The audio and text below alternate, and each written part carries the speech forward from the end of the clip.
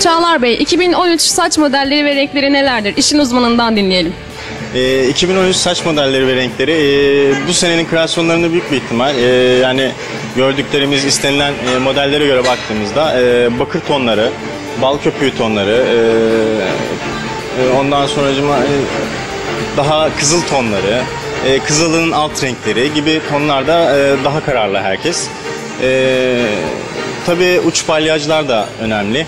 Ee, uç palyajlarımızı genelde ee, daha seyrek meçler halinde kullanarak e, renklerimizi bakır olarak, bal köpüğü olarak e, ya da kızılın alt tonları dediğimiz renkler halinde yapmaktayız.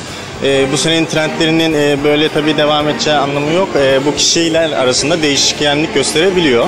E, müşterilerin tercihlerine göre, yüz yapılarına göre, e, ten renklerine göre veya e, bulundukları ortamlara göre bütün renklerimiz değişmektedir.